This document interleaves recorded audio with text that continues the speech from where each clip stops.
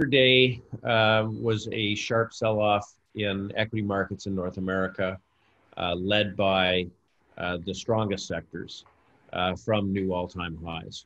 Um, just from underneath the surface, uh, the TSX uh, did have a reasonably significant pullback. We broke some lows from earlier in July and August. and so that's certainly something to keep an eye on. That's the first shot across the bow. In our long-term breadth indicators, they remain positive for the NYSE, for the Nasdaq, for the S&P 500, and the Nasdaq 100. We have four short-term indicators. They have been weakening over the last two weeks. Percent of stocks trading above their 50-day moving average has moved down from 74% to 62. It was down 8% yesterday. So that is 8% of stocks breaking some short term trend. Uh, percent of stocks with positive momentum, that's upward trajectory, has backed off from 96% to 52, which just represents a narrowing uh, um, uh, list of stocks with upward trajectory. We know that the largest stocks have been making the biggest difference recently. Uh, and the percent of stocks hitting new highs versus new lows weakened a little bit too. So under the surface, three of our four short-term indicators weaker. The other thing to keep in mind is that over the last two weeks, volatility has been rising, VIX.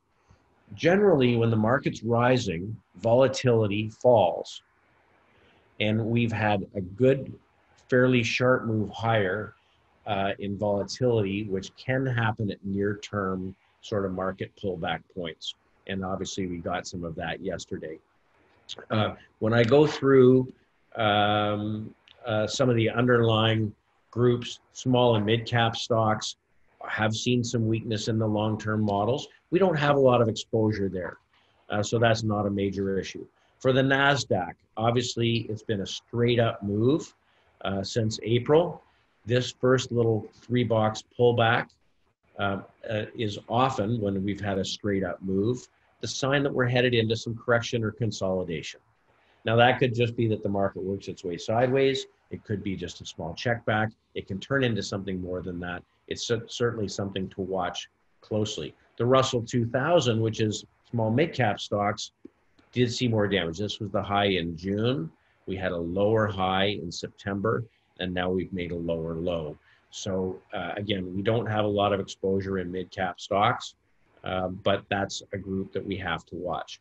Some, some things that are a little bit more positive. Semiconductors certainly had a big pullback yesterday, and as, as most tech stocks did. But you can see all the way along in this rally, we've been making higher lows and higher highs, higher lows and higher highs. So far, all this is is a pullback within trend. Now, when we look at all of our underlying stocks, many of them pulled back in, in not inconsequential amounts.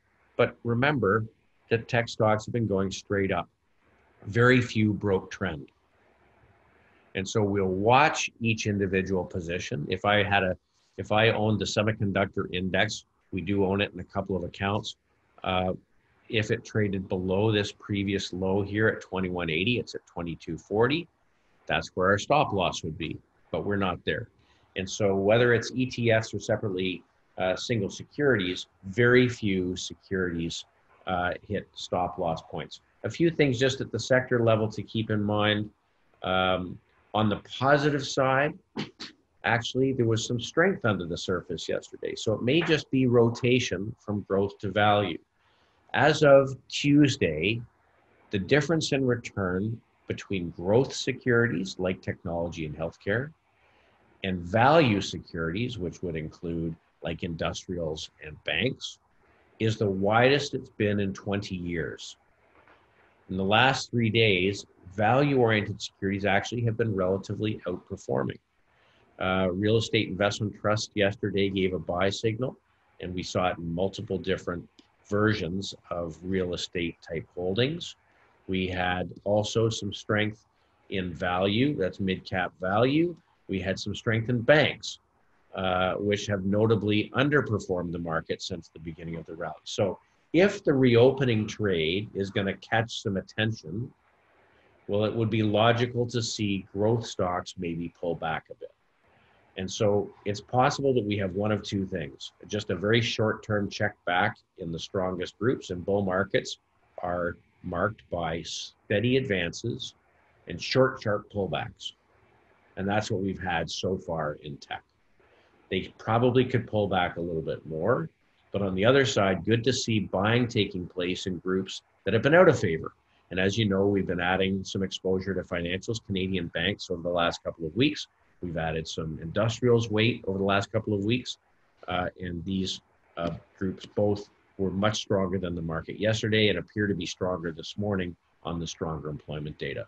So uh, can't take everything from one day, um, but uh, but there are some positives underneath the surface, and we'll watch to see if our long-term indicators hold. At this point, they're positive.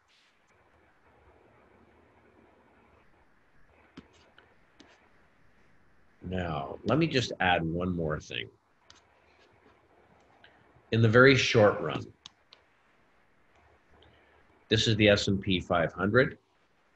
This is the trend that's been in place since early summer. So far, we held above that trend line. So there's a pullback within trend. The thin red line is the eight-day moving average that we broke yesterday. The red line is the 21-day moving average.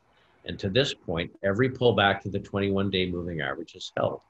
So um, on the NASDAQ, which of course has been the strength in the market, this has been the channel that we've been in, bounded at the top by this uh, line, bounded at the bottom by this line.